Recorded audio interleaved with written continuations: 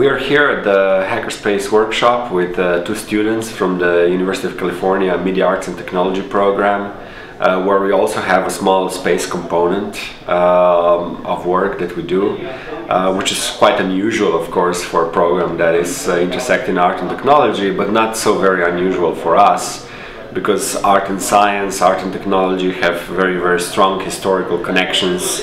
and uh, we just want to nurture those and bring them into the future. And one of the ways we do that uh, in Media Arts and Technology is also through our uh, new instrument that we built. It's called the Allosphere. It's a multimodal uh, space for um, multimodal multimedia visualization and uh, on all, with all kinds of elements, including uh, extreme numbers of sound channels.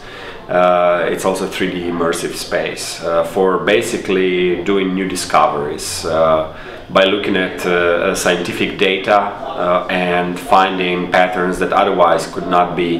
uh, sort of detected with normal visualization techniques and sonification techniques. And one of the projects we're looking at now is also the time probe, which is perfect example to sort of try to materialize the immaterial, and that's what uh, we are in the business of doing.